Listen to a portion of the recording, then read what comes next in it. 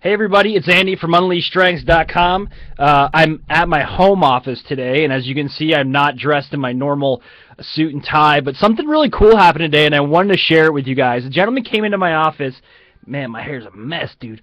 okay, a gentleman came into my office today, and he is the guy that um, that does the weekend cleaning in our office building, and suffers from depression has a lot of social anxieties and some issues, but super creative. I mean, just one of those guys that has his ideas fire like a big string of firecrackers, one after another. And it's, you know, it's hard to keep up with them unless you know what's going on in his head. And I do. I have high ideation, and I suspect that he does as well.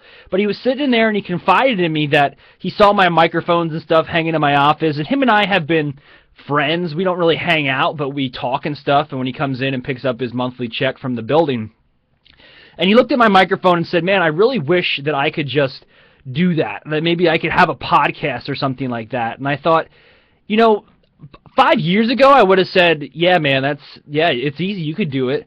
Um, and then just let it go at that. But now that I'm strengths aware and I know that I have ideation and I know that he has ideation and I know what it feels like to have ideas, but but not necessarily see them come through to fruition, and how much that hurts, and how you kind of struggle with that over and over and over again.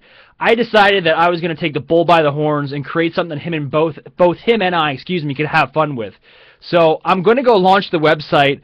Uh, Andy and Todd, what is it? I can't remember. Andy and Todd, no, Todd and Andy Show.com. Todd T O D D and AndyShow.com. It's not up yet. I just purchased the domain. But on Wednesdays at 7 p.m., him and I are going to start recording a podcast. And I tell you what, when the opportunity came for me to, uh, to talk to him about that, really this podcast is not about anything. It's just a way for him to kind of convey his message because he's in his late 40s and something he said to me really kind of hit home. He said, "You know what, Andy? I don't want to be six feet under and, and dead and somebody realized how creative I was. I want to be known for my creativity now and my ideas now. And I thought, wow, how selfish of a person would I be if I didn't give him this opportunity, or at least give him the opportunity that I was never given until I kind of had to grind and find it myself. He doesn't have youth on his side. So he's looking at this as the last opportunity for him to expose himself to an outlet that he can share his message with. And I thought that is so damn cool. And that's something that strengths has taught me. It's it's allowed me to recognize the abilities in others that that you know the regular passersby may not even see. I mean, the guy's not very kept. He's not your GQ model you would see walking around the streets. He doesn't wear a three-piece suit. You know, he cleans buildings at night at like midnight to 3 a.m. But he's awesome, and I think that's so cool. And he has such just um, an amazing amount of ideas, and you can see the gear spinning in his head. So I thought, man, from one ideation guy to another, that's the least I can do is give him the microphone and allow him to record a podcast. So uh, I'm thinking about go ahead and posting those podcasts on, on unleashstrengths.com as well. Our first one is going to be recorded on the 8th of October. That's a Wednesday evening. I'll throw it up maybe the next day. But I just wanted to share that story with you. Do you guys have that ever happen to you? I know now that you're strengths aware, you see things and you, you can uh, you know pluck out maybe somebody's top five, but you're also charged as strengths aware people with allowing them the opportunity, giving them the ability to expose their strengths and their talents to the world.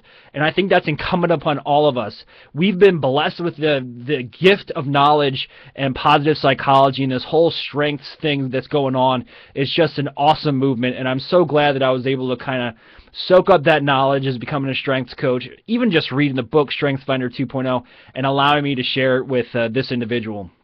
So he is going to take the assessment in case you're wondering, and I think that'll be something we actually do a podcast on. Maybe I'll have him on as a guest on Thematics, uh, which is my other podcast. But really cool. I'm just pumped, and uh, you guys are my outlet, so I wanted to share that with you.